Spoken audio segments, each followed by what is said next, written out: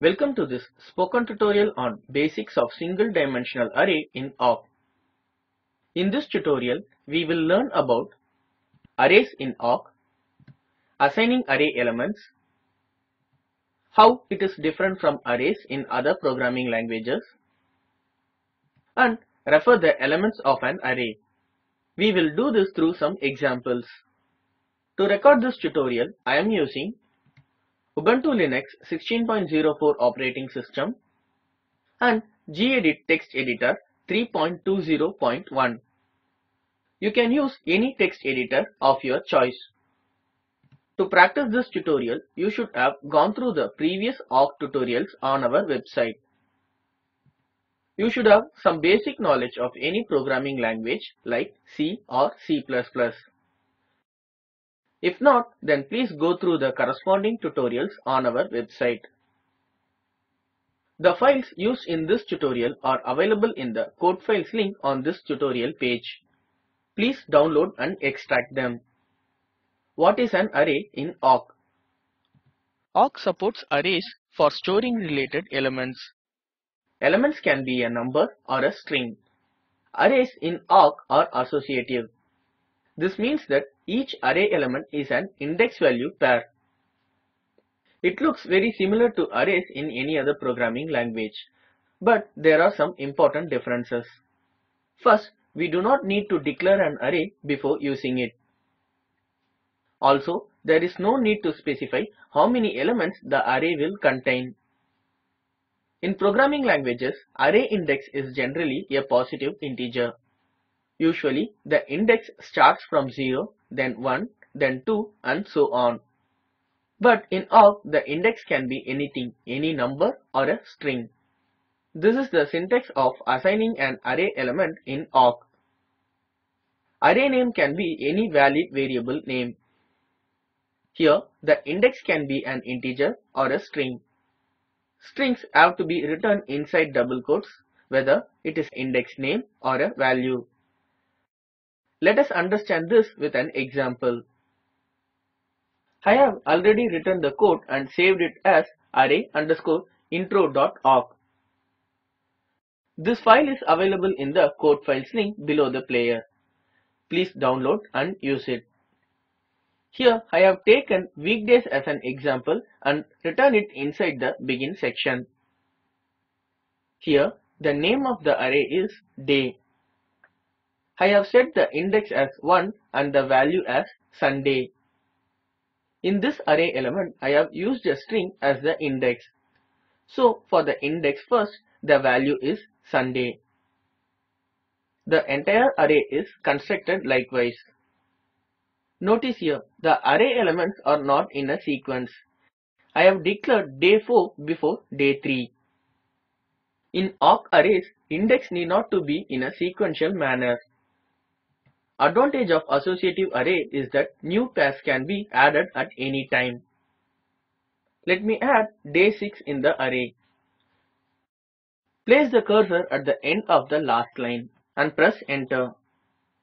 Then type the following. Save the file. We have declared the array, but how should we refer to the array element? Write the array name and the index within square brackets to refer an element at a particular index. Let us try this. Switch to the code once again. Place the cursor in front of the closing curly brace. Press enter and type print space day within square brackets 6. Save the code. Open the terminal by pressing Ctrl, Alt and T keys. Go to the folder in which you downloaded and extracted the code files using cd command. Now type awk space hyphen small f space array underscore intro dot awk. Press enter. See, we get Friday as the output. Next, we will check whether any element exists in an array at a certain index. For this, we have to use the in operator. Let me explain this with an example.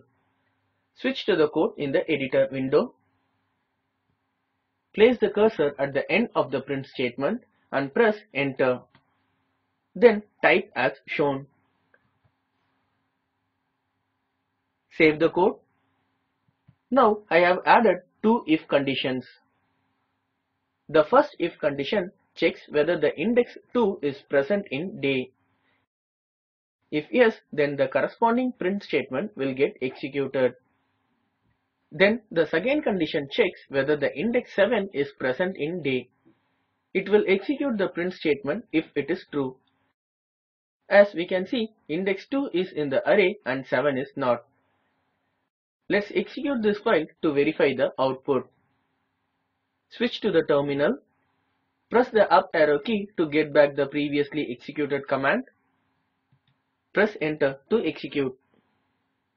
We get the output as expected. We will now make some more changes to the code. Update the code as shown here. Below the 7 in day condition, I have added one more condition. This will check whether the value of index 7 is null or not. If true, it will print index 7 is not null. We already know that we don't have any index with 7, so it will not print anything. Next, we have changed the print statement of the condition 7 in day. Save the code. Let's see what happens when we execute the code. Switch to the terminal. Press the up arrow key to get the previously executed command. Press enter to execute. We got an unexpected output. The statement index 7 is present after null comparison is printed. How is it possible? When we write day of 7 not equal to null, we are trying to access the element at index 7. This access itself will first create an element at index 7 and initialize it with the value null. Next, we are trying to check if any element is actually present at index 7.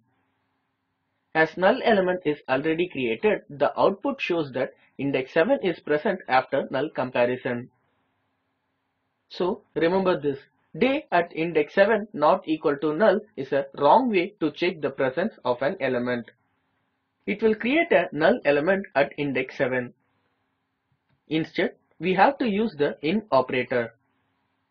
It will not create any extra element in the array. This brings us to the end of this tutorial. In this tutorial, we learnt about arrays in awk, assigning array elements, how it is different from arrays in other programming languages, refer the elements of an array. As an assignment, define an array flower color. Index will be the names of the flowers. Value will be the corresponding color of the flowers. Insert entries for any 5 flowers of your choice. Print the color of the fourth flower. Check if the flower lotus is present in the array. The video at the following link summarizes the spoken tutorial project. Please download and watch it. The Spoken Tutorial project team conducts workshops using spoken tutorials and gives certificates on passing online tests. For more details, please write to us. Please post your timed queries in this forum. Spoken Tutorial project is funded by NMEICT, MHRD, Government of India. More information on this mission is available at this link. The script has been contributed by Antra and this is Praveen from IIT Bombay signing off. Thanks for joining.